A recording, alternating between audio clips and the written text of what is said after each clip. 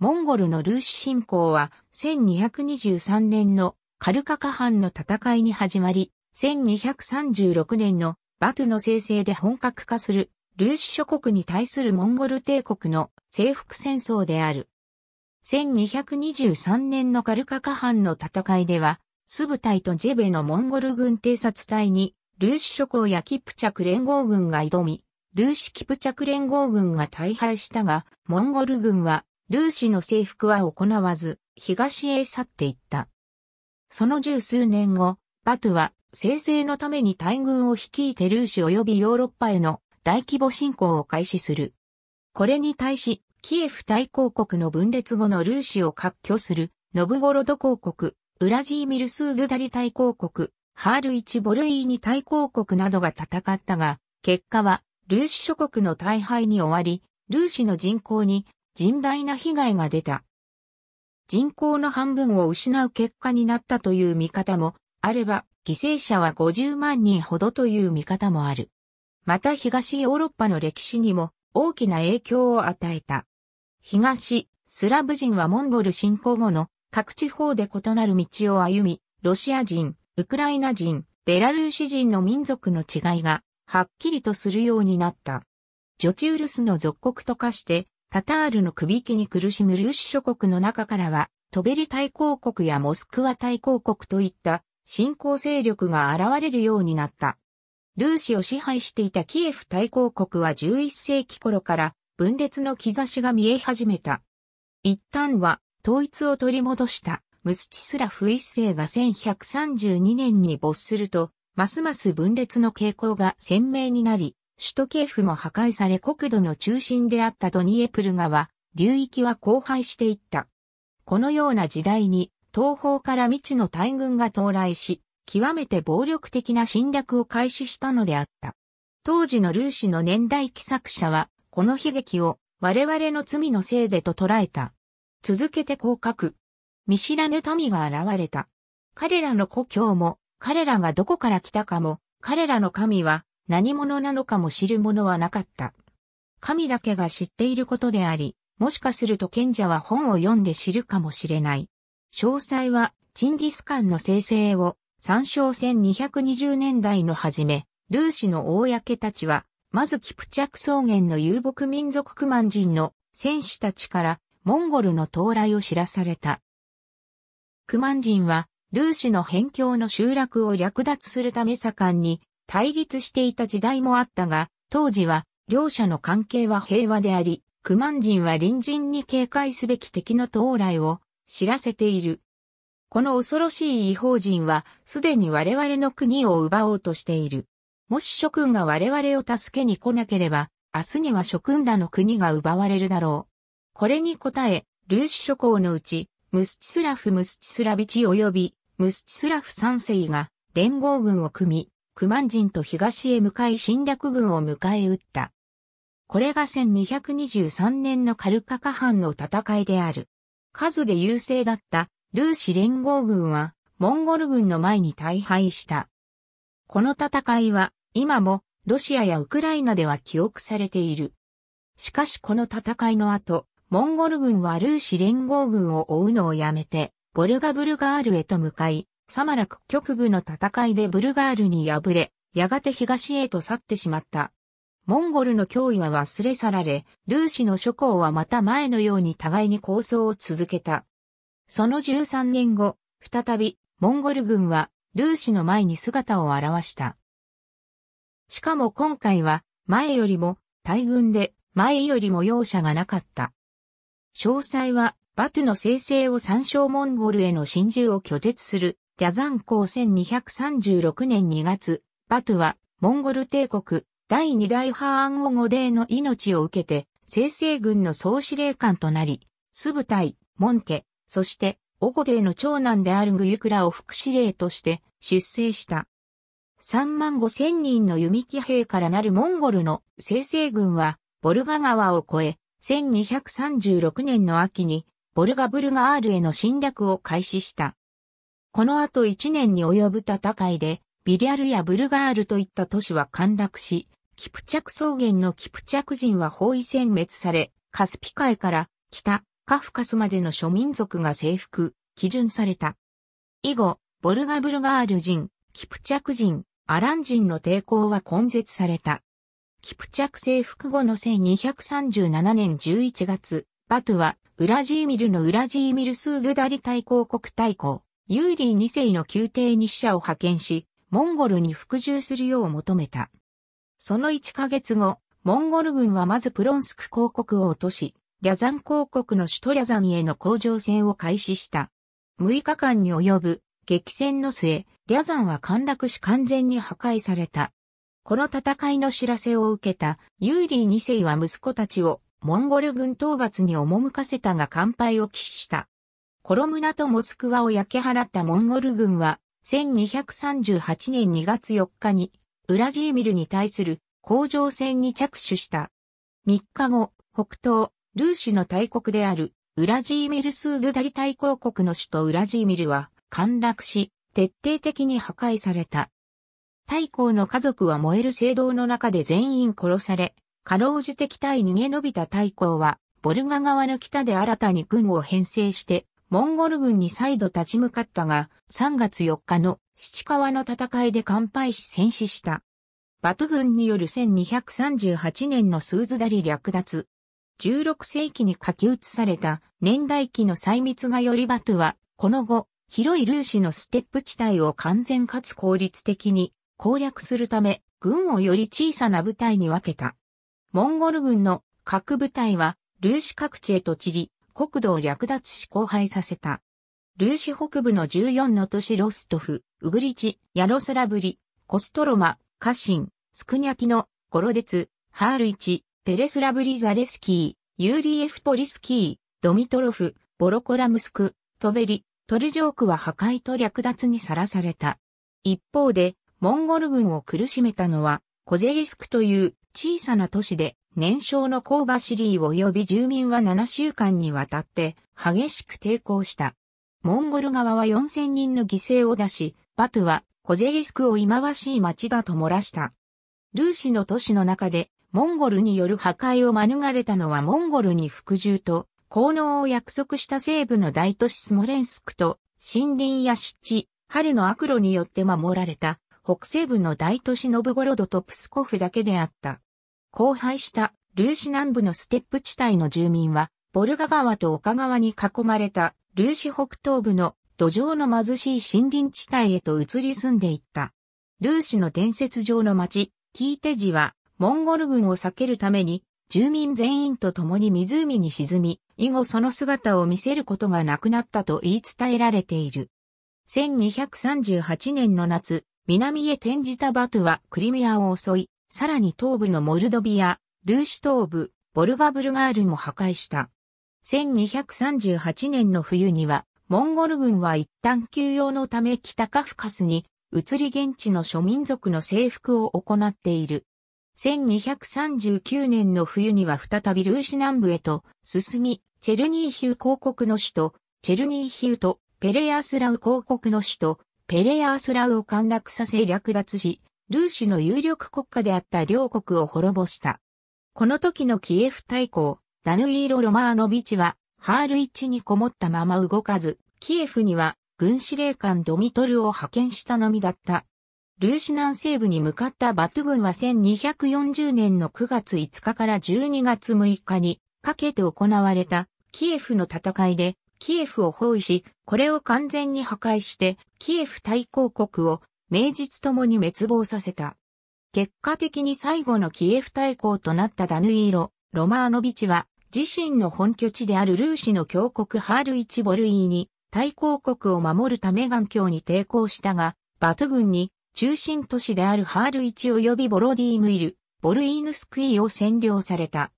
ルーシ諸国をほぼ破壊したモンゴル軍は、地、果て海尽きるところまで行くことを決意し、ハール1ボルイーニの地で分かれて、ポーランドとハンガリー島へと侵入していった。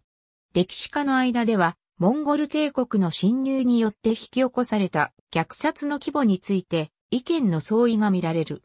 ルーシの人民の犠牲者数は疑いなく甚大だった。特にモンゴルは征服に抵抗する都市に対しては全人口の抹殺をもって応じており、ルーシの都市も例外でなかった。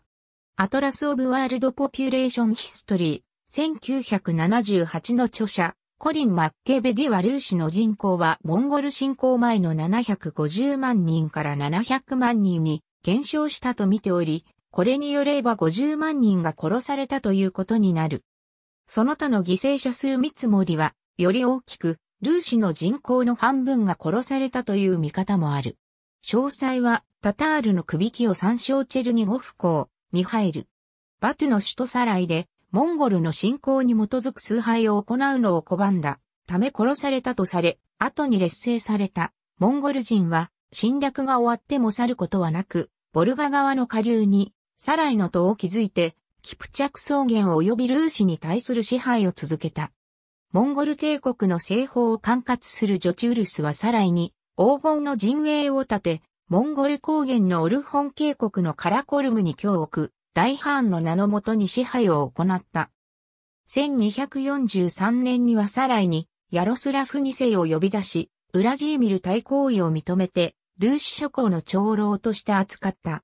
これ以後、3世紀にわたりサライのハーンたちが、ルーシ諸国の公らを侵入させ、ウラジーミル大公や各国の公としての地位を承認し、効能させるという関係が続いた。ノブゴロド公国、スモレンスク公国、ハールイチ公国、プスコフ公国など、ルーシ西部の諸国も含め、ルーシのすべての国がモンゴル帝国に従っている。この親中関係を示す一般的な用語であるタタールの首輝は、ルーシがモンゴル人の苛烈な支配下に置かれたことを示唆するものだが、実際には、征服初期の侵入しない国や都市への殺戮や略奪の時期を除けば、一般的に考えられているほど残酷で抑圧的な効能を敷いたというわけではない。まず、モンゴル人は征服した土地にまばらにしか住み着かなかった。またモンゴルは征服地の土着民族に対して直接支配を行わず、土着民族の長を通じた間接支配を好んだ。農耕民族の生活様式を取り入れて融合してしまうことを防ぐようにというチンギス・ハンが子孫たちに対して残した訓戒にジョチウルスの支配者たちは従ったと言える。つまり十分な効能が行われ続ける限り、非支配民族は日々の営みに干渉されることはなく、普通は支配者に攻撃されることもなく、それまで通りの農耕や商業が続けられるということであった。チンギス・ハンの軍が、懲戒的に灌漑施設を破壊し、将来にわたっての農耕もできないようにさせた、中央アジアの一部で起こったようなこととは、ルーシは無縁であった。またルーシは、中央アジアからのステップを通じた交易路が通る場所であり、モンゴル帝国による交易の庇護によって、ルーシを通じた東洋と西洋の間の貿易が機能し、ルーシはここからも利益を得た。タタールの支配が過酷だったという見解に対しては、いくつかの反駁が行える。確かに、モンゴル帝国の征服戦争は苛烈だったが、ひとたび支配が確立すると、例えば宗教に関しては、比較的寛容だった。モンゴル帝国の支配層は、天狗リ信仰を主とするシャーマニズムを信じていたが、征服活動や支配にあたって、宗教的な共振性とは無縁であった。中東を征服したモンゴル人やサライのジョチウルスの支配者たちは、イスラム教や正教会を根絶しようとすることはなく、非征服民族の影響で、イスラム教に改宗しても、他の宗教に対する寛容さを完全に捨てることはなかった。ジョチウルスは、ルーシ人に対し、サライに正教会の主教を置くことを認めている。ジョチウルスの有力者の外は、東ローマ帝国皇帝ミカエル8世、パレオロゴスの娘エウフロシュネー・パレオロギナと結婚し、ノガイも娘をルーシの公に嫁がせている。ロシアの近代の歴史家は、むしろモンゴルのロシア支配などなかったという仮説を提唱する。この説では、ルーシ諸国は、西方のドイツ騎士団など、ローマカトリックからのより現実的な脅威に対して、東方のモンゴル諸国と防衛のための同盟を結んだ、とされる。ロシア革命後にチェコやアメリカに亡命したユーラシア主義者のジョージ・ベルナツキーによれば、分裂が進んだルーシはモンゴルから先制や支配制度を学び、後のロシアツァーリ国は、モンゴル帝国の後継国家として、ユーラシアを支配する国になったとされる。これら肯定的な側面も存在するものの、さらに定住してからは効能を受け取る単なる貴族となったモンゴル人もルーシに対して暴力的な側面も見せている。ジョチウルスに属する遊牧民が辺境にいる限り、ルーシは遊牧民の侵入や略奪から免れ得なかった。侵入は実際には頻繁ではなかったものの、侵入がひとたび起こると、おびただしい数の犠牲者が出て、土地は荒廃し、疫病や飢餓も蔓延した。ルーシ諸国は以後も南方のステップからの遊牧民の襲撃に対する防衛に国費の多くを割かれることになった。またルーシの人々は固定額の効能、すなわち人頭税を払わされた。当初はルーシの各地にバス核が住んで人々から大雑把な額の具税を集めていくだけだった。1259年頃からは人口調査に基づいて効能額が定められ、人々の反感を買ったバス核制は廃止され、最終的には地元の公らに効能の権限が一任された。以後、ルーシの公がルーシの民に効能のための重い税を課し、ルーシの民はコーラを支配するジョチウルスの貴族や役人らに直接会う機会はなくなった。ルーシの侵攻で多くの都市や町が焼き払われたが、以後は都市の再建は停滞し、ステップ地帯などでは数百年にわたり都市の再建が行われなかった。モンゴルに向かうローマ教皇の使者プラーノ・カルピには途中に通ったキエフが骸骨の散乱する廃墟であり、残った人口がわずか200世帯だったことを記録している。ボロネジの再建は16世紀になり、リャザンの再建は断念され 55km 離れたペレスラブリの町に中心が移り、現在のリャザンになった。都市や都市間を結ぶ交易路が打撃を受けて衰退し長年、再建されなかったことは、ルーシ諸国の商業や手工業の停滞だけでなく、農村社会の停滞にもつながった。正教会の聖堂についても、ルーシ信仰前のような石像の大聖堂は長い間建設されることがなく、ルーシの文化の停滞が見られる。ルーシを名目上支配するキエフ対抗国及びルーシに割拠する諸公国に対するモンゴル侵入の影響は陽動なものではなかった。キエフやウラジーミルのような従来の中心都市はモンゴルによる破壊から立ち直ることができなかった。北に遠く離れたノブゴロドは侵略から免れたが、モンゴル侵入による大国崩壊後の空白に生まれたトベリア、モスクワといった新たな勢力がノブゴロドを圧迫した。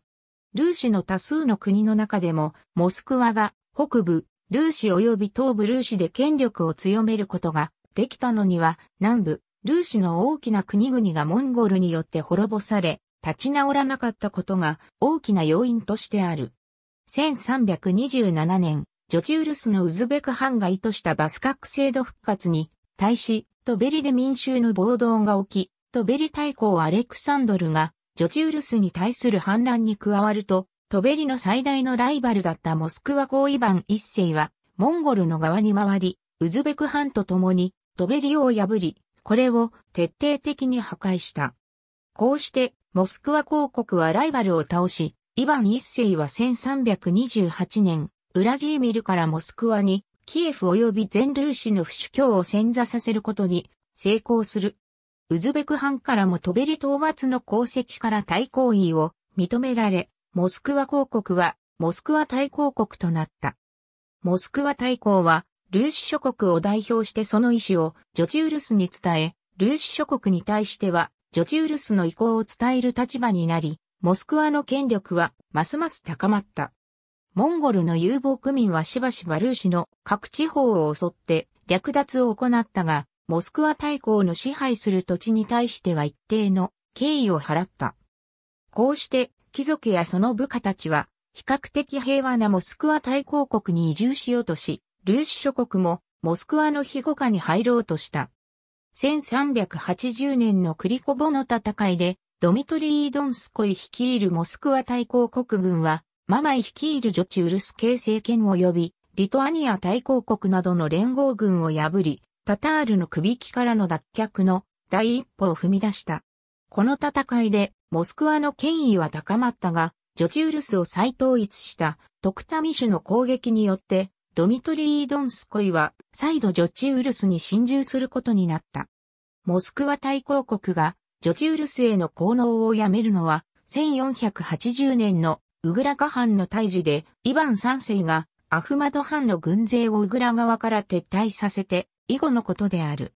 ジョチウルスは分裂したが、その末裔となった国家には、火山藩国、アストラハン藩国、クリミア藩国、シビル藩国、ノガヨルダなどがある。しかしすべて、モスクワ対抗国から発展した、ロシアツァーリ国、あるいはその後のロシア帝国に滅ぼされた。